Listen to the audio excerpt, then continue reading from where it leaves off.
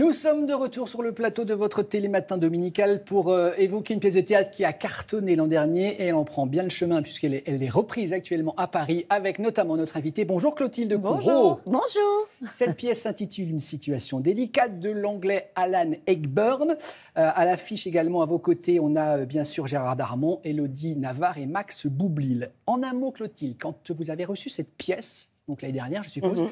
votre première réaction quand vous l'avez lue? Euh, magnifique. Magnifique, l'occasion de pouvoir aussi interpréter un personnage aussi délicieux de femme, euh, de femme euh, qui n'a l'air de rien, mais qui comprend beaucoup de choses. Et puis Proco. C'est ça. Et d'avoir euh, la possibilité de travailler avec ses partenaires absolument magnifiques. C'est vrai que c'est quiproquo sur quiproquo sur quiproquo. C'est très très drôle, bande annonce. Écoute, je comprends pas pourquoi je peux pas t'accompagner. Tu me présentes, on passe la journée avec eux et c'est tout. Mais c'est mieux si tu viens pas. Je suis sûr qu'ils sont très sympathiques, tes parents. Euh, À quelle heure tu passes euh, voir Hélène? Elle est arrivée Tu veux pas y aller quand même? Bonjour Ah, bonjour. On, on s'est déjà rencontrés? J'ai pas l'impression, non. Ma femme me dit que, que vous vouliez me parler. Euh, oui. Elle ne vous a rien dit À quel propos? À propos de nous De vous et moi T'es complètement folle. Je t'avais prévenu Vous êtes la fameuse Julie? Vous savez qui je suis?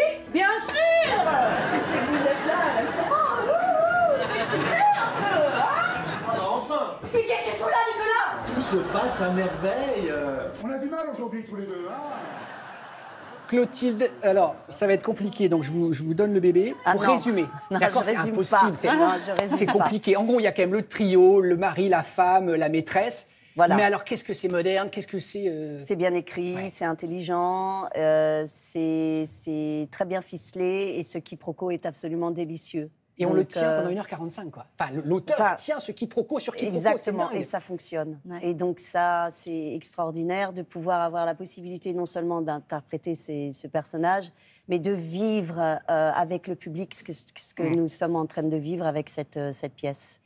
Et sur scène, est-ce que vous préférez déclencher des rires Ouais. ou de l'émotion? Les deux. Ouais. Mais de toute façon, le rire, c'est de l'émotion. Oui. hein. Donc euh, les deux. Mais entre les deux, quand même, si vous deviez choisir, c'est agréable de faire rire, non?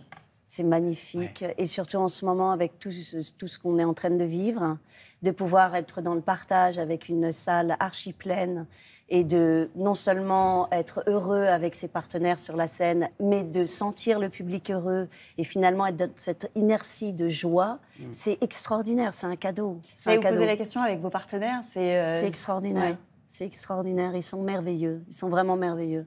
Donc euh, Gérard Darmon dans ce personnage de C'est votre mari, c'est votre voilà, mari, de ouais. euh, On, peut va dire, quand même qu'il a une maîtresse, on peut le dire. Bien sûr. Voilà, hein, on dévoile Bien pas trop. sûr. C'est Élodie. C'est bien sûr. Bien sûr, c'est maîtresse. C'est Élodie Navarre. Mais je n'en sais rien. hein.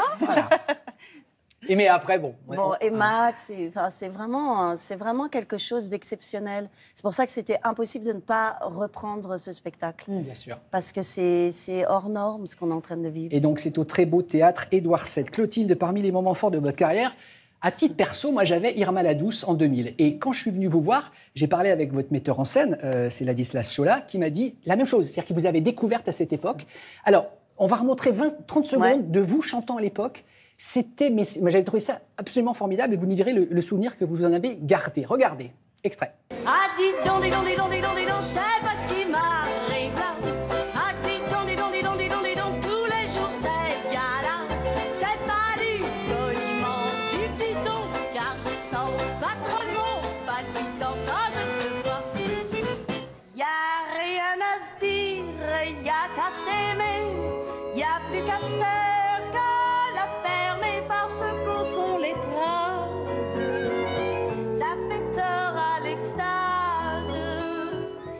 Quelle performance Jouer dans une comédie musicale avec un orchestre en direct. Vous avez quel souvenir de cette Bah là, en, revoyant les images, ça me, ça me touche. Ça me rappelle à tellement de choses. Jérôme Savary, qui Ouais. n'est plus là, mais qui était le metteur en scène, qui avait été. euh, qui était un vrai père pour moi. c'est ça, qui était un vrai père. Un vrai père. Et ça devait. Ah, dis donc, dis donc, dis donc, dis donc, c'est inchantable. Vous aviez bossé beaucoup parce que non, mais phonétiquement, c'est super dur. Ouais, c'est super dur.